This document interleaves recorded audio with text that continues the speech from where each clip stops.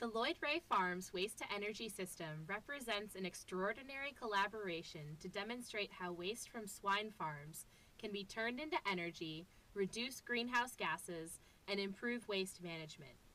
The award winning system represents a unique partnership between academic, private, and public sectors, including Duke University, Duke Energy, Google, and of course the Loyd Ray Farms. Seed funding was provided by the USDA's Natural Resource Conservation Service and the North Carolina Division of Soil and Water's Lagoon Conversion Program. The system was designed by Cavanaugh and Associates. This is a demonstration project that partners hope will usher in continued innovation in hog farming, energy production, and the reduction of greenhouse gases. To give a better background of why such an innovative system is needed, we need to discuss the environmental and economic impacts of traditional swine farming. In traditional swine farming, all waste from the pigs flows directly into a lagoon from which it is applied to spray fields. Ammonia and methane are emitted to the air from the open lagoons, while water levels are kept in check by applying the wastewater to nearby spray fields. The high nutrient content of the wastewater requires that farmers grow hays and grasses that are capable of taking up a lot of nutrients. This protects waterways, but the crops are not highly valuable. Other environmental issues associated with the traditional system are the potential to introduce excess nutrients to spray fields that can affect the quality of the surrounding waterways, which in turn can affect the entire waterway ecosystem. Lagoons and spray fields also create a great deal of odor. So, the innovative system can have both environmental and economic benefits as compared to traditional swine farming. The innovative system cleans the wastewater considerably so that once it moves into the farm's existing lagoon, the water contains a substantially lower concentration of nutrients and other constituents. This system also substantially reduces ammonia and methane emissions into the air. Odors are greatly reduced as a result of the innovative system, as is the pathogen and heavy metal content of the wastewater.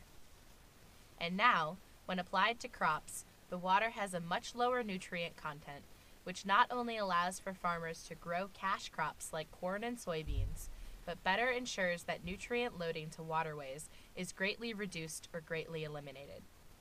Another important role that innovative waste management systems play is that they make it possible for farmers to expand their operations because they meet North Carolina's stringent environmental performance standards, which are required for farms in North Carolina to expand. And because the system uses the methane in the captured biogas to make electricity, the project generates renewable energy certificates, RECs, in fulfillment of North Carolina's Renewable Energy and Energy Efficiency Portfolio Standard, and greenhouse gas emission reductions that partners can use to meet their carbon neutrality commitments. What follows is a step by step overview of the system with lots of scientific detail. Let's begin the virtual tour. Here is a schematic of Loyd Ray Farms. The innovative system can be split into two subsystems. First, the environmental system. The waste moves as follows. The waste flows from the swine houses to the anaerobic digester and then to the aeration basin for treatment before being reused to flush waste out of the swine houses or for irrigation. The second system is the electricity and greenhouse gas reduction system.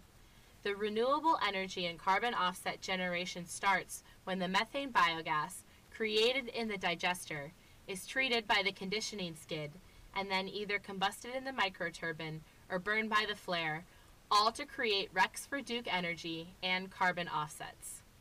The electricity produced by the microturbine is used on the farm.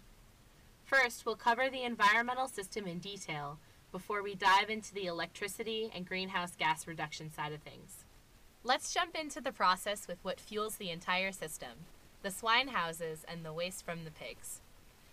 There are a total of 8,600 swine on the farm at any given time, housed in nine barns. They stay on the farm for about 18 weeks. The hogs produce, on average, 368,000 gallons of waste per week. On weekdays, the waste is flushed out of the houses and into the anaerobic digester. In the in ground digester, the organic waste is broken down through the process of anaerobic digestion. An anaerobic environment is one without oxygen. This is important because without oxygen available, the waste decomposes and produces the biogas. The digester is lined and covered with material made out of high density polyethylene, as you can see in the photo. You may be asking how the digester benefits the environment. Well, the decomposition that happens in the digester helps address many of the environmental issues associated with hog waste in four different ways. First, it reduces total nitrogen. The nitrogen is ultimately reduced via denitrification, which is the reduction of nitrate to nitrogen gas under anaerobic conditions. The aeration basin is tasked with nitrification, which converts ammonia produced in the anaerobic digester to nitrate and nitrite. The flushing of the swine barns also helps to control nitrogen and ammonia. The second environmental benefit is the containment of all gases. This significantly reduces the release of atmospheric ammonia, pathogens, and odors. The combustion through the microturbine also reduces methane that would otherwise be released into the atmosphere. Third, heavy metals are reduced by precipitating out of the wastewater column and falling to the bottom of the digester. The metals contained in the sludge that collects at the bottom of the digester are periodically collected and disposed of as opposed to being applied to spray fields. Finally, the digestion itself lowers harmful pathogens. After undergoing anaerobic digestion, research has shown that the waste contains fewer pathogens. So, by the time the wastewater travels to the aeration basin, the next step, the concentrations of pollutants are already lower. Now that we've covered the benefits of the digester, we'll move to the aeration basin where the overflow from the digester travels. The aeration basin works to help further break down the waste and pollutants by introducing oxygen. This picture shows the large fan-like fixture that introduces oxygen into the wastewater column. The reduction of ammonia, a harmful pollutant both atmospherically and terrestrially, is arguably the most important environmental benefit of the entire innovative waste management system. The ammonia captured in the digester follows the liquid to the aeration basin for treatment. The introduction of oxygen in the aeration basin causes the oxidation of ammonia to nitrate through nitrification. The uncovered basin forces oxygen through the wastewater and runs intermittently throughout the day. This is when nitrification occurs. Nitrification happens in two steps. The first is ammonia oxidation, where oxygen is combined with ammonia, and the results are nitrite, hydrogen, and water. The second step is nitrite oxidation, where the nitrite is converted into nitrate by combining with oxygen. Once aeration is halted, oxygen is reduced through biological processes, ultimately removing all oxygen and creating an environment similar to the digester. Without oxygen, nitrate converts to nitrogen gas through denitrification. Denitrification occurs when the nitrate combines with hydrogen and additional electrons, producing the neutral gaseous form of nitrogen and water. You can see the chemical equation here. The nitrogen gas resulting from denitrification already comprises over 70% of our atmosphere. The inert nitrogen is released into the air, either here in the basin or through the flushing of the barns. This picture will give you a better idea of what the aeration basin looks like in action. Once processed in the aeration basin, the mostly clean water is used to flush the swine houses, which greatly improves air quality in the barns. Excess water flows by gravity to the lagoon, which now stores clean water that can eventually be used to irrigate cash crops. That's the end of the environmental system, so now we'll move to the greenhouse gas and electricity system. The biogas production begins in the digester. How exactly is the waste broken down to produce biogas? Well, the bacteria found in the waste decompose the waste into organic acids that are then further broken down into bicarbonate, carbon dioxide, and methane. A simplified organic chemical equation showing the breakdown is seen here. The biogas is comprised of approximately 60% methane, 40% carbon dioxide, and 1,000 to 1,500 parts per million hydrogen sulfide. The relative humidity of the gas is close to 100%. After biogas production really gets started, the cover is filled as seen in this picture. The cover inflates considerably as more and more biogas is generated. The primary reason to capture the biogas is to create RECs and carbon offsets. The biogas flows from the cover into the gas conditioning skid, where it is dewatered and compressed, think air conditioning, and then combusted in a microturbine. A flare is used for excess gas. The combustion of methane biogas counts as renewable energy certificates because the fuel is from the waste.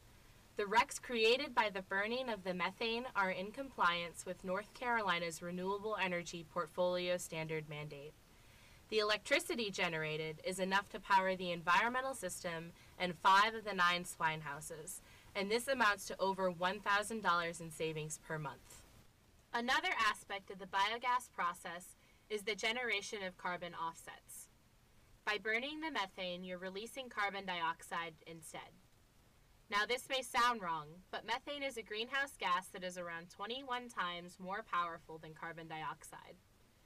To draw better context, all the methane created in traditional hog farming isn't captured and is released directly into the atmosphere.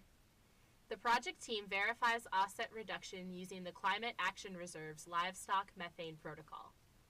So, to give a brief summary of the entire system, first the waste flows from the swine houses to the anaerobic digester that's covered to contain all gases. Two things happen here the biogas is trapped by the cover, and the cleaning of the waste begins. The waste flows to the aeration basin where oxygen is introduced to help further break down the pollutant ammonia.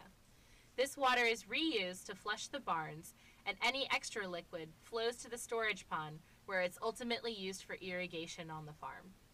The waste system reduces nutrient loading into waterways and helps farmers grow cash crops. It also allows them to expand operations. Moving back to the digester where the biogas is trapped, we follow it as it flows to the gas conditioning skid where it's chilled, dehumidified, and compressed. It's combusted in the microturbine, which yields RECs for Duke Energy. The electricity stays on the farm to run the system and some of the barns.